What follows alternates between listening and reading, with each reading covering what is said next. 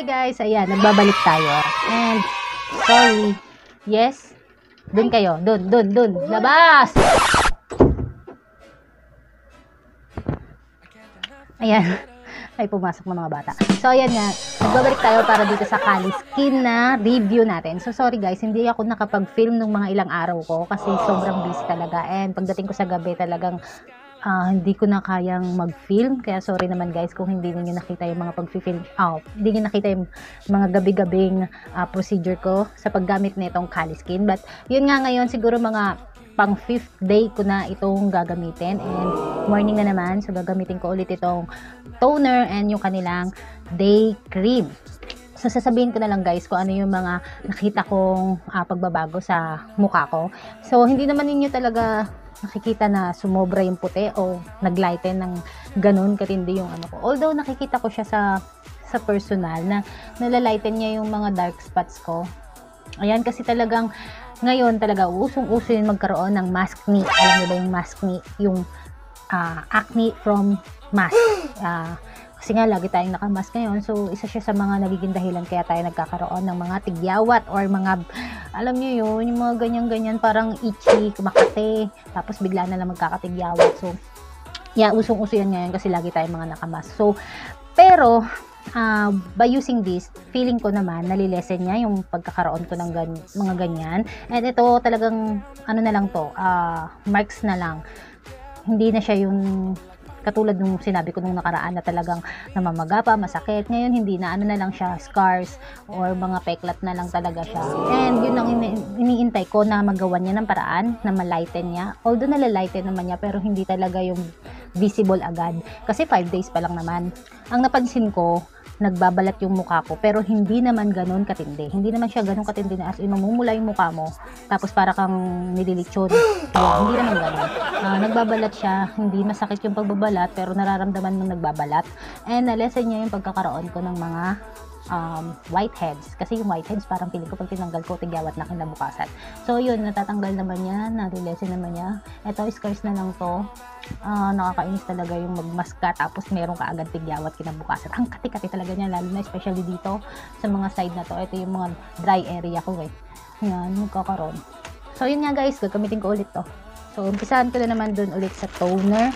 And for a couple of days, ito lang talaga yung ginagamit ko. And hinihintay ko yung result. Siguro ubusin ko lang to and then ipapakita ko sa inyo kung ano yung magiging result nitong uh, Kali Skin sa aking mukha. So umpisahan natin sa toner.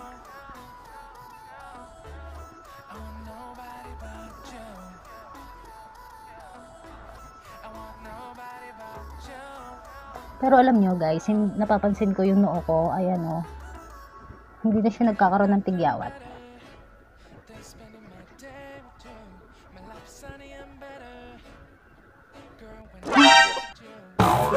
Ang itim. Bakit ang itim? O siguro dito sa damit ko, kumapit yung tela ng damit. Tela ng damit? Yung mga himulmul ng damit. Nasa pa? Natakaw ako sa toner eh. Talagang dalawang beses ako mag-toner.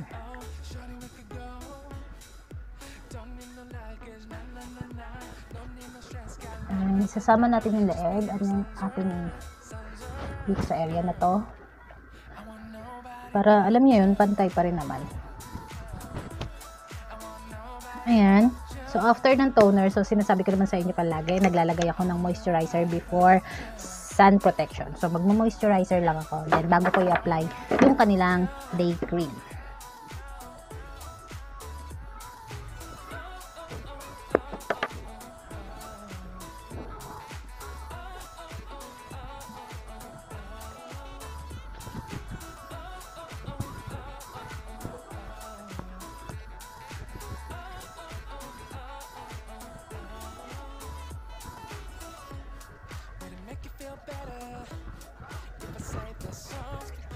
Ayan, so as you can see, uh, hydrated na yung aking face, moisturized na. Then, tapping motion para lang mag-sink in lahat ng mga minerals and moisturize, moisturizer dun sa aking face.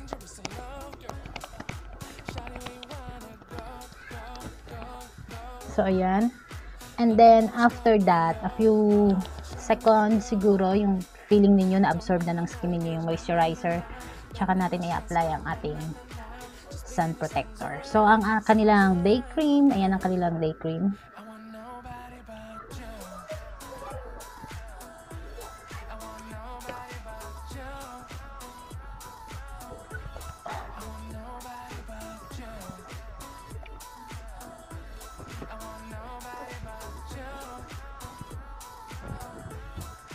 Yan. So guys, ito lang aking daily routine sa pag-aalaga ng aking mukha.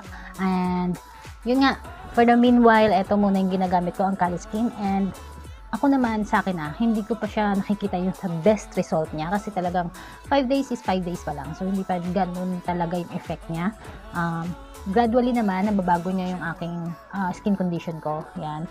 Nalalighten naman niya. Hindi na talaga yung as in swollen at saka red na red yung mga uh, ditong area ko na to. And, pag nakamask ako, uh, hindi na siya ganun ka-itchy. Oo.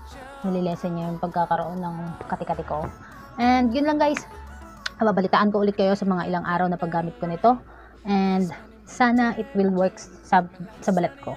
Yan lang guys, at kaya naman kung nagustuhan nyo itong video na to at kung may natutunan kayo at kung balak nyo bumili ng Kali Skin, contact uh, the seller or the owner of this product. Uh, makikita nyo sa kanilang Facebook account, ang Team Ginger Play at ang Kaliskin Santa Maria Bulacan or Bulacan area. Ayan, nandito lang yan. Pwede niyo silang kontakin and to know uh, to know about Kaliskin. Ayan.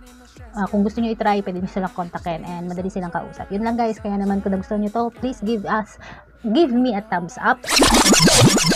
Ayan, ibibigay ko na sa inyo yung aking final verdict verdict dito sa tinry ko na Kali Skin. So, kung napanood niyo yung aking first ever PR package, binigyan ako ng Team Ginger Play ng Kali Skin product which is rejuvenating product. And for me, alam ko naman nakikita niyo yung itsura ko ngayon. Ayan. Pero nakikita niyo pa rin na meron akong mga ayan, konti pang mga tawag dito um ano ba yan? ako.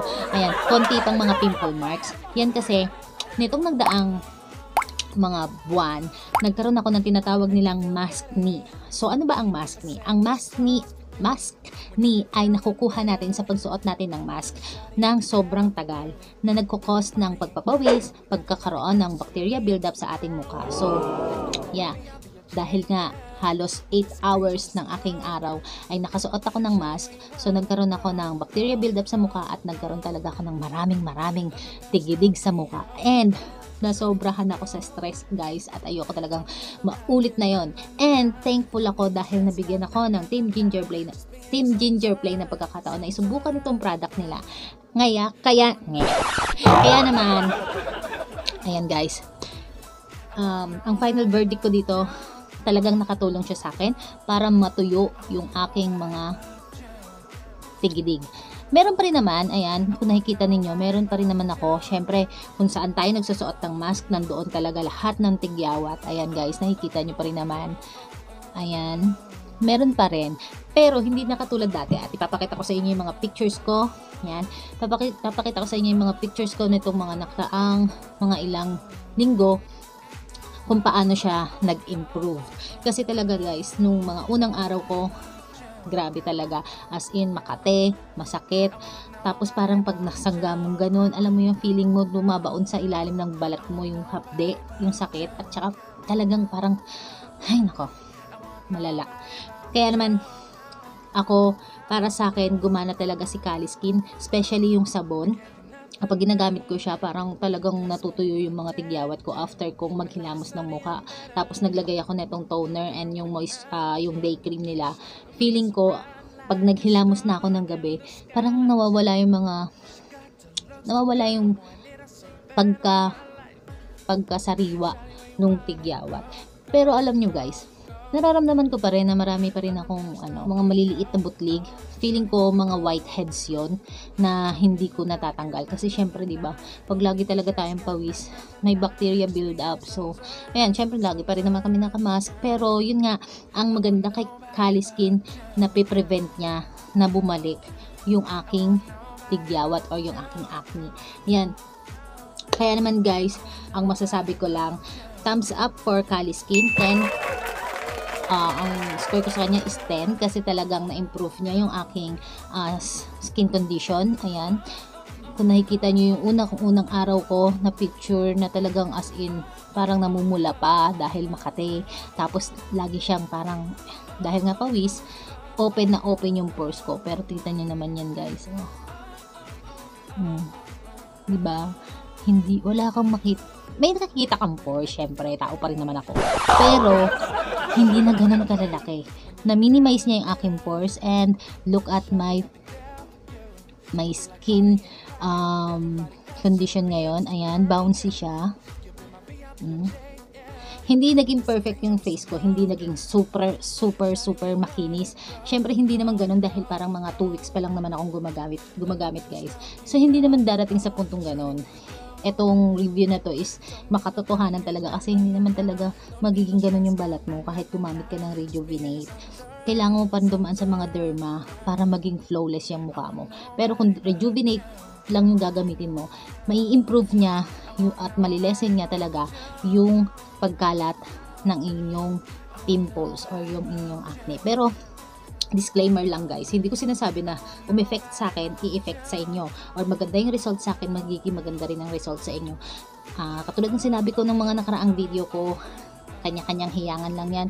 Ah, may, may lahat ng tao may iba't ibang klase ng skin condition, may iba't ibang klase ng skin problem. So, depende na lang 'yon kung paano niyo i-treat yung inyong skin condition. So, ako ah, para sa akin gumana si Kali Skin. Yun lang guys. Tingnan nyo. Ah, hindi naman ako sumobra sa puti. Hindi naman talaga as in naging tisay pumusyaw lang at nakikita nyo naman ayan dito medyo pumusyaw yung aking balat ayan ayan siya namumula-mula para namumula-mula siya kasi syempre rejuvenating yung aking ginamit pero alam nyo guys, hindi siya nagbalat sa akin. Hindi siya nagkaroon ng peeling effect. Hindi katulad dun sa mga nakita ko na ibang gumamit. Pero sa akin kasi, ewan ko ah, talagang negrita lang talaga siguro ako kaya hindi na sa akin may effect yung mga papaputi na yan. Pero, yeah, nakatulong siya sa akin para malesen yung mga kinaiinisan kong pimples. At hindi na masakit ang mukha ko. Hindi katulad nung mga nakaraang ilang linggo na parang kahit na tapikin ko yung mukha ko masakit. Now, hindi na. Kasi talagang mga pimple marks na lang tong mga to. Yun lang guys, kaya naman kung gusto ninyong maka-avail netong uh, Kali Skin, ayan, open ang Team Ginger Play para kayo ay bigyan ng serbisyo at syempre open sila para sa resellers and district distributors. So, yun lang guys, pwede nyo silang kontakin sa kanilang Facebook page which is ito, Kali Skin and ang kanilang uh, official page, Team Ginger Play. Ayan, pwede nyo silang kontakin dyan and to know about more info with this Kali, Kali Skin. Ayan. So, ito yung aking uh, combination for day and yung isa ko ay yung night cream. Ayan. Yun lang guys. So, kung nagustuhan nyo tong video na to at kung interested kayo, don't forget to comment down below. And syempre, click the like button. Syempre, kung gusto nyo rin naman ako makasama palagi, nandiyan ang subscribe button para pindutin nyo lang at i-hit ang bell button para notified kayo sa lahat ng mga updates natin. Yun lang guys. I'll see you all in my next videos. Bye-bye.